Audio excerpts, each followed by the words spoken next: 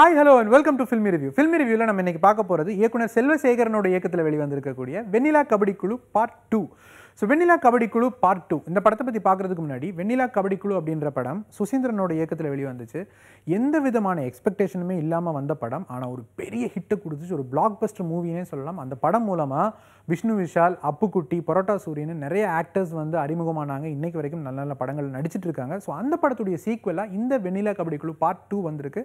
So இந்த படத்துடைய cost யார் அப்படின்னு பார்த்தீங்கன்னா விக்ராந்த். ஸோ விக்ராந்த் வந்து ஒரு அண்டர் ரேட்டட் ஆக்டர் அப்படின்னே வந்து சொல்லலாம். அவர் வந்து ஒரு நல்ல ஆக்டர் அப்படின்றது எல்லாருக்குமே தெரியும் பட் அவருக்கு ஒரு சரியான ஒரு பிரேக் கிடைக்கல. பட் இந்த படம் அவருக்கு ஒரு பிரேக்காக இருக்கும் அப்படின்னு வந்து நம்ம எல்லாருமே நம்பலாம். அவ்வளோ அழகாக நடிச்சிருக்காரு பாராட்டுக்கள் விக்ராந்த். அண்ட் அதே மாதிரி படத்துடைய ஹீரோயின் அர்த்தனா பினு இவங்க கடைக்குட்டி சிங்கத்தில் வந்து ரொம்ப ஒரு நல்ல ரோல் பண்ணியிருந்தாங்க. பட் அதை விட பெட்டராக இந்த படத்தில் பண்ணியிருந்தாங்க. ரொம்ப நல்லா நடிச்சிருக்காங்க.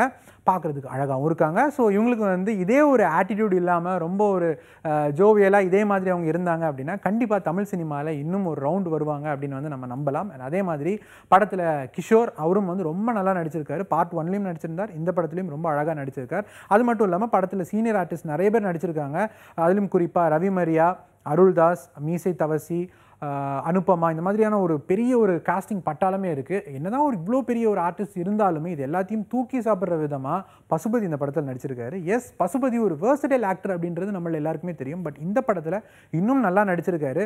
அதிலும் குறிப்பாக விக்ராந்தை வந்து ஒரு காப்பாற்றுற மாதிரியான ஒரு சீன் வரும். அதிலலாம் வந்து பயங்கரமாக அப்ளாஸ் அல்றாரு பட் என்ன ஒரு பிரச்சனை அப்படின்னா பசுபதி வந்து ரொம்ப செலக்டிவாக தான் படங்கள் பண்ணிட்டு இருக்காரு. அதையே தவிர்த்து நீங்கள் இனிமேல் நல்ல நல்ல படங்கள் தொடர்ந்து தமிழ் சினிமாவில் கொடுக்கணும் அப்படின்றத எங்களோட அவங்களுடைய ஆசை. ஸோ காஸ்டிங் வைஸ் எல்லாருமே அவங்களுடைய பெஸ்ட் இந்த படத்தில் கொடுத்துருக்காங்க. அண்ட் படத்துடைய இசை இசை வந்து படத்துடைய ஒன்றி போகுது அப்படின்னே சொல்லலாம். ரொம்ப நல்லா பண்ணியிருக்காங்க. பிஜிஎம் ஆகட்டும் சவுண்ட் எஃபெக்ட்ஸ் ஆகட்டும் எல்லாருமே நல்லா பண்ணியிருக்காங்க. பட் என்ன ஒரு பிரச்சனை அப்படின்னு பார்த்தீங்கன்னா ஒரு பிரபல இசையமைப்பாளருடைய பாடல்களை வந்து அங்கங்கே யூட்டிலைஸ் பண்ணியிருக்கிறீங்க.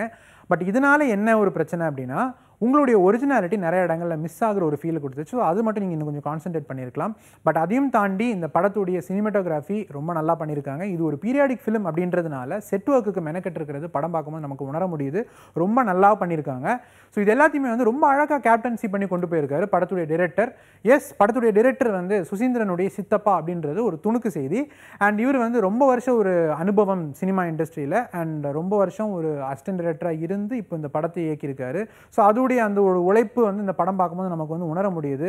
அதிலும் குறிப்பாக டெக்னிக்கல் விஷயங்களாகட்டும் கண்டினியூட்டி ஆகட்டும் எந்த ஒரு குறையுமே சொல்லாத மாதிரி எடுத்திருக்காரு. அதுக்கு ஒரு பெரிய பாராட்டுகள் சொல்லலாம். பட் என்ன ஒரு பிரச்சனை அப்படின்னு பார்த்தீங்கன்னா ரொம்ப ஒரு யூஷுவலான சீன்ஸ் வந்து நமக்கு நிறைய இடங்களில் உணர முடியுது.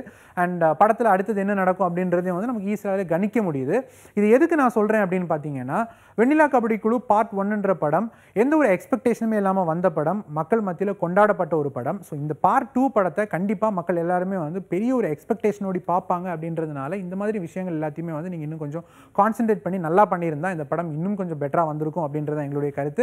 ஸோ மொத்தத்தில் இந்த வெண்ணிலா கபடி குழு பார்ட் டூ எப்படி இருக்குது அப்படின்னு கேட்டிங்கன்னா எந்த ஒரு எதிர்பார்ப்புமே இல்லாமல் வெண்ணிலா கபடி குழு பார்ட் ஒன்னை பார்த்து ரசித்தவங்க அதோட பயங்கரமாக இருக்கும் இல்லை அதோட வேறு லெவலில் இருக்கும் இப்படிலாம் போய் எதிர்பார்த்து போய் உட்காந்தீங்கன்னா கண்டிப்பாக இந்த படம் உங்களை திருப்திப்படுத்துமான்னு எங்களுக்கு சொல்ல தெரியல. பட் எந்த ஒரு எக்ஸ்பெக்டேஷனுமே இல்லாமல் ஒரு ஜனரஞ்சகமான ஒரு படத்தை போய் பார்க்கணும் அப்படின்னு நினச்சிங்கன்னா கண்டிப்பாக இந்த படத்தை போய் பாருங்கள் உங்களுக்கு பிடிக்கிறதுக்கான வாய்ப்புகள் நிறைய இருக்குது அண்ட் எங்களோட இந்த ரிவ்யூ உங்களுக்கு பிடிச்சிருந்துச்சுன்னா கீழே லைக் பண்ணுங்கள் படத்தை பற்றின உங்களுடைய கருத்துக்களை கீழே கமெண்ட் பண்ணுங்கள் மறக்காமல் சப்ஸ்கிரைப் பண்ணுங்கள்